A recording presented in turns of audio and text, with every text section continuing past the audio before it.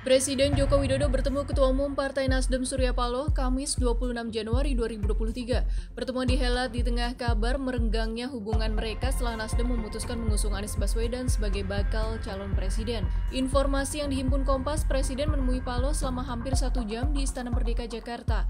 Pertemuan terjadi atas permintaan Paloh setelah Paloh bertemu Menko Bidang Kemaritiman dan Investasi Luhut Binsar Panjaitan di London pada Desember 2022. Ketua DPP Partai Nasdem Willy Aditya menepis pertemuan Jokowi dengan Paloh terkait pertemuan Luhut Paloh.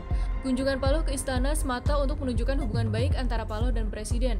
Dengan kata lain, tak benar jika muncul penilaian bahwa relasi Presiden dan Paloh merenggang. Terkait dengan pertemuan Jokowi dan Paloh, Kepala Departemen Politik dan Perubahan Sosial CSIS Arya Fernandes melihat ada kecenderungan Surya Paloh memperbaiki hubungan dengan Presiden.